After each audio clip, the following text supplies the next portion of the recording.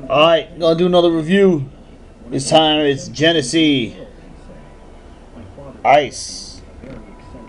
Oh, for some reason, I don't know. Run out of shit to drink. What does it even say? 5.5? Why's my camera all blurry?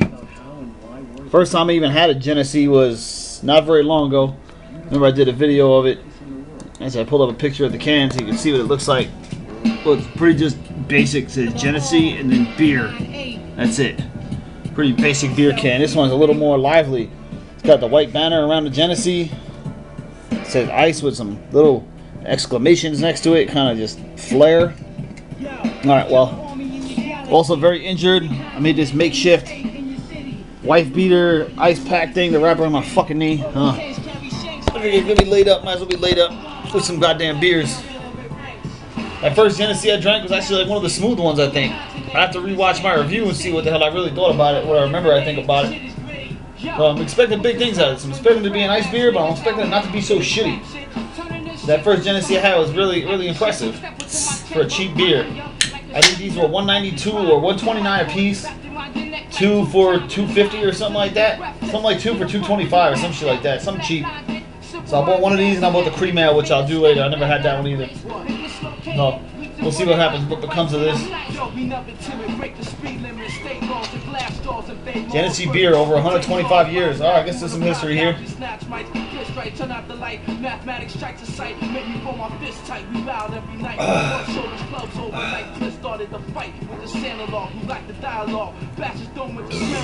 Not as smooth as that regular Genesee I had. I don't know why people just write ice on the beer. Like they accidentally fuck up and make a shitty beer, so like, oh, just write ice on it. A little stronger and nastier. Yeah, it's definitely a nasty version of the Genesee I had before. Uh, definitely had worse. It was actually sold when I tried that Hurricane, that Hurricane Category 5 again. Yeah, it's definitely more bitter than when I did the review, man. Once I did Stone Sober, yeah, it wasn't very good. It wasn't very good.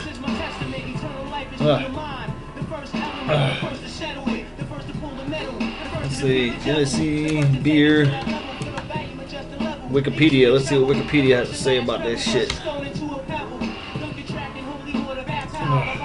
Let's try this sucker again.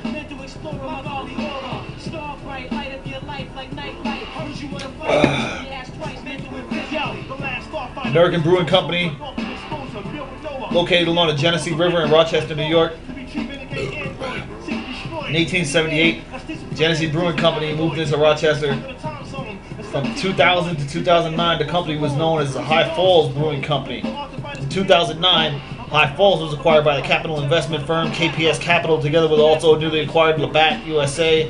KPS merged the two companies as North American Breweries. Along with this change, High Falls Brewery changed back its name to the original Genesee Brewing Company, operating under the North American Breweries name. In October 2012, North American Breweries Company was purchased by Cerveceria Costa Rica SA, sixth largest brewing company in America by sales volume. Well, well, oh, I guess it's sold from New York, upstate New York.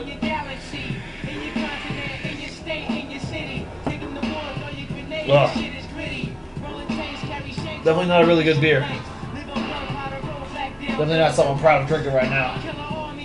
I'm not sure what a cream ale is, but I'll figure that out once I get to that one. I might just do that one right here next. I'm getting some time off though after this one before I drink another one. It was a long, crappy day at work, but I got through it and I'm here. Just gonna ice down my damn leg, chill for a little bit. Ugh. By the way, my shirt says I'm awesome. It's got my favorite number on the back. 4-0, motherfucker. Should probably start reviewing 40 soon. Alright, well, overall, pretty good beer, man. I like the green Genesee better. Not the green one, whatever color it was. It's the regular white. To try the green one next. Alright, thanks for watching.